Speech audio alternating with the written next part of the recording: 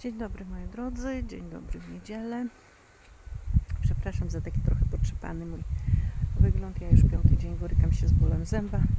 E, Jest do usunięcia, ale niestety trzeba wyeliminować z początku stan zapalny, więc jest na antybiotyku, na przeciwbólowych, więc trochę tak już jest lżej, ale nadal jeszcze jestem taka przyćmiona trochę.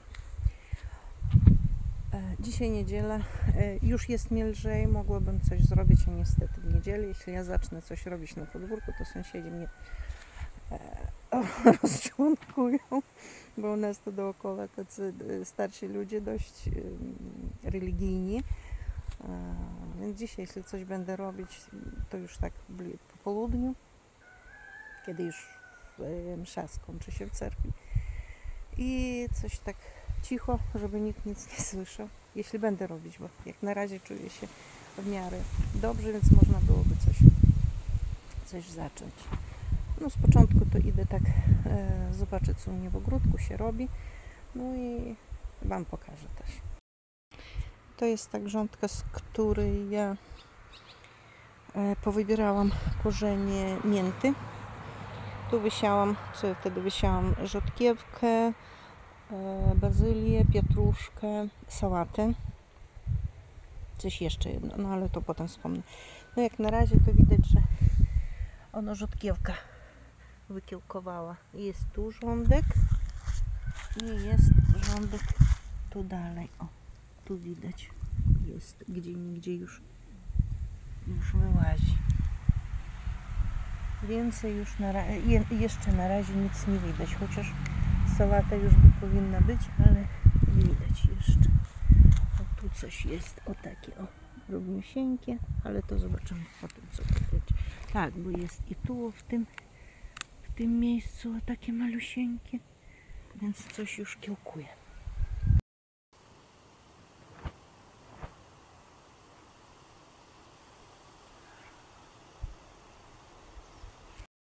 Chcę Wam pokazać jeszcze jedną ciekawostkę, która u mnie na grządce jest.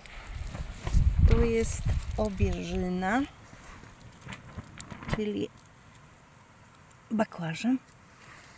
Są już dwa kwiatuszki.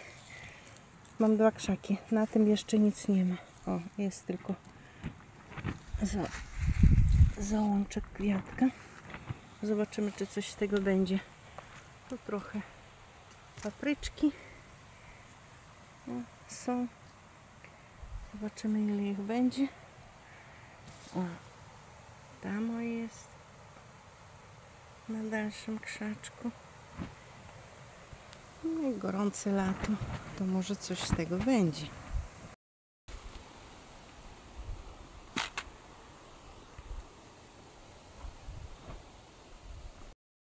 O, to papryczki chili.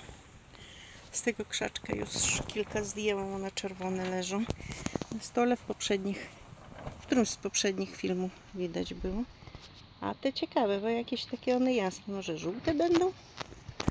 Zobaczymy, zobaczymy. Pomidorki są. Sią, sią.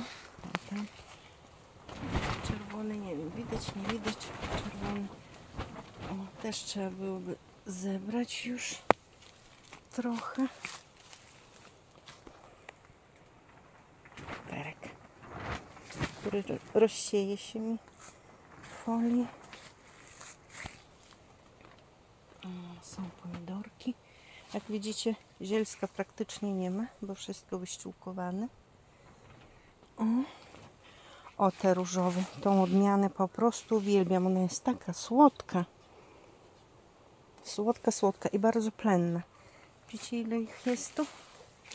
Dużo, dużo. O, tu jest taki żółty pomidor. One są takie dość kwaśne, ale na przykład dla ozdoby jakichś surówek czy tam innych dań y, są jak najbardziej. Tu drugi krzaczek, patrzcie jaka różnica.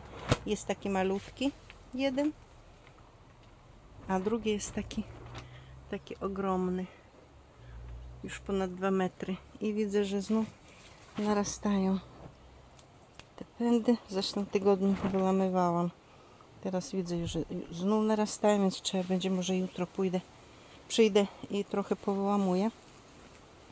Chociaż nie wiem, jutro mam do PGE pojechać. Ile to mi zajmie, nie mam pojęcia, bo mówią, że kolejki po 3-4 godziny.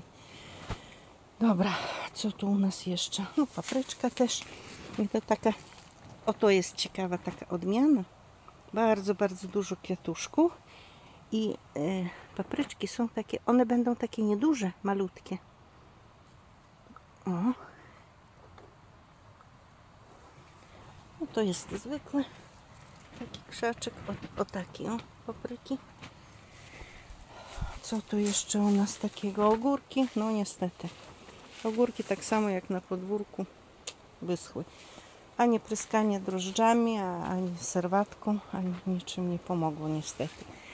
Jeszcze końcówki są zielone, tu nawet o, takie młodziutkie są i jeszcze zawiązki, ale myślę, że żywot powoli już się kończy. Ja jeszcze spróbuję poobcinać te suche liście, one i tak już nic nie dają, więc żeby mniej zarazek szło dalej, ale mi się wydaje, to jeszcze na kilka na kilka surówek będzie tych ogórków i to chyba wszystko.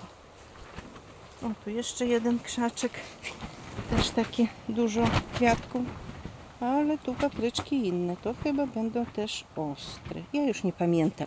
Nasiałam dużo, ale potem tak. O, tu papryka też czerwona. Tu tradycyjna papryka, o widać taki. Tak wygląda. I Sałata na nasionka też się rozsypie. No. O, tak to jest u mnie w folii.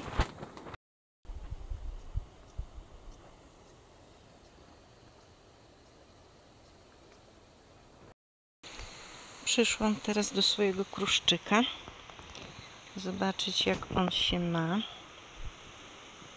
Już wytwarza nasionka. To jest taki może dość pospolity y, gatunek naszego storczyka takiego polskiego. Tylko, że wyrósł u mnie na rabacie kwiatowej. Nie wiem skąd on się wziął. Pewnie jakieś ptaszki przyniosły nasionka. Więc staram się, żeby on się zachował, żeby nasionka się wytworzyły i mi się rozsiał. Po prostu tak. To jest odętka wirginijska. Przepięknie kwitła. Gdzieś u mnie chyba jest zdjęcie, jeśli znajdę to wstawię. Już też wytwarza nasionka. Będzie się rozsiewać, chociaż i tak krzak już jest taki ogromny. Ale jak y, na biało kwitnie, tak całe, całe te kłosie jest takie białe. Jest przepiękne. Tu jeszcze na tej samej rabacie zadomowiło mi się dzwonki leśne.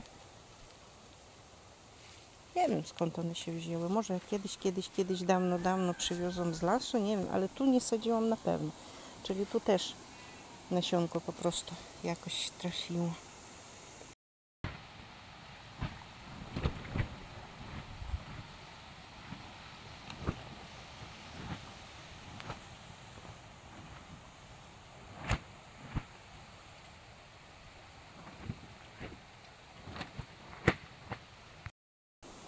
Nasz trawnik teraz tak oto wygląda. Niestety zdechła nam kosiarka, więc trzeba będzie jakoś sobie radzić. Nie wiem, może troszkę później gdzieś się coś wynajmie. Trzeba będzie na jesień oczywiście wykosić, żeby to wszystko nie poszło pod zimę takie suche. Mm. Bo kupić na razie nie da się. Mm, Tu moja lawenda, bardzo pięknie odrasta. Ja myślę, że jeszcze jakie z trzy tygodnie i ona będzie znów mi kwitnąć. No, kilka kwiatuszków zachowało się, ale to o, także będzie dużo, dużo u mnie lawendy jeszcze. Popadały mi jabłka, jakaś letnia kosztela, bardzo słodkie. Odmiany nie mam pojęcia, to przywiozłam kiedyś, kiedyś, kiedyś gałązkę przywiozłam od yy, z, z rodzimego domu z Białorusi. Zaszczepiłam.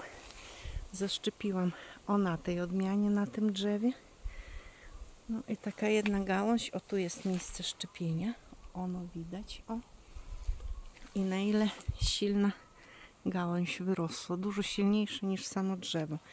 E, tu była druga gałąź też szczepiona, ale była bardzo, bardzo e, taka nachylona i drzewo już widać, że zaczęło, zaczynało się chylić w tą stronę. Więc jedną gałąź tą y, obcięłam, a ta została. I o taka, taka ciekawostka, że drzewo jest stare i jabłka na tym drzewie są takie, takie jak to mówią, parchate byle jakie. O, tu, o tu widać chyba. O.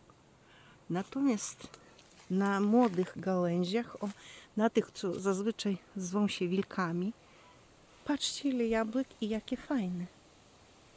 I teraz ja myślę, żeby tak można było tą część drzewa ściąć, a zostawić o tą z tymi dwoma, dwoma odmianami, z tą czerwoną i z tą białą, tylko jak zrobić, żeby to drzewo wyprostować trochę.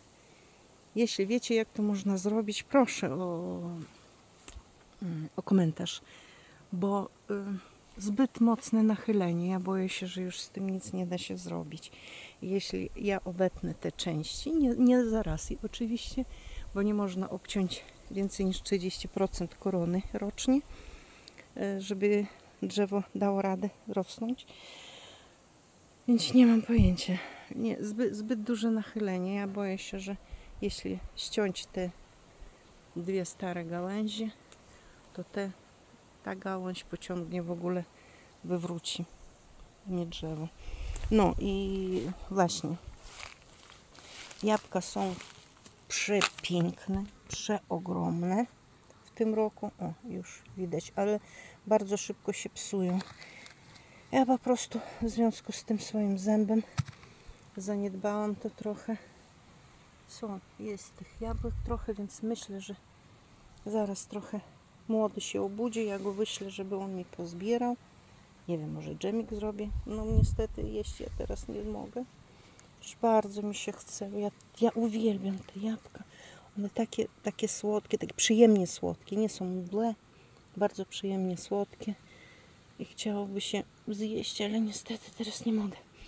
No ale stracić takie bogactwo też nie chce się, więc brzydko to wygląda, więc będziemy musieli zebrać jabłka, zebrać tą zgniliznę. No i ta zgnilizna, na, mi- mimo że mówią, że zgnilizny nie można tam wyrzucać na, na kompostownik, czy, bo to, to nie jest choroba. To jest po prostu popadały jabłka i, i, i i zgniłe, bo one bardzo szybko się psują, miękkie są, dlatego bardzo szybko się psują. Więc ja myślę, że to jednak pójdzie na kompostownik. No i bardzo dziwią mnie te, te czerwone, takie zdrowe jabłka na tych tak zwanych wilkach. Cudem zostało, że ja ich na wiosnę nie, nie wycięłam, bo zazwyczaj wilki wycinam. Tych nie wycięłam i patrzcie, jakie cudowne jabłka na nich wyrosły. No, co mi jeszcze dzisiaj na pewno trzeba będzie zrobić, to zebrać fasolkę szparagową i zamrozić ją, bo zaraz to przerasta.